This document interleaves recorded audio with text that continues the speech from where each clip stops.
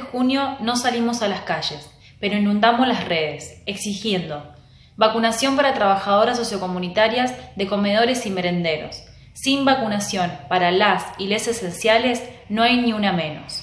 Seguimos buscando a Abigail. Le exigimos al gobierno provincial y a la justicia de Mendoza que redoble los esfuerzos y los recursos para encontrar a Abigail. Sin Abigail no hay ni una menos. Exigimos la declaración de la emergencia nacional y provincial, porque para decir ni una menos hay que prevenir la violencia machista. Exigimos el efectivo funcionamiento de la Dirección de Género y coordinaciones y áreas municipales.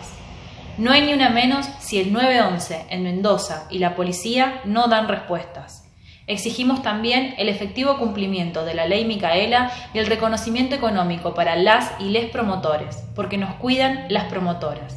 Invitamos a toda la audiencia a participar de la transmisión en vivo este 3 de junio a las 15 horas por el Facebook de Mujeres Evita Mendoza a participar de la entrega de credenciales y cuadernillos del registro de promotores y promotoras Tejiendo Matria del Ministerio de Mujer, Género y Diversidad.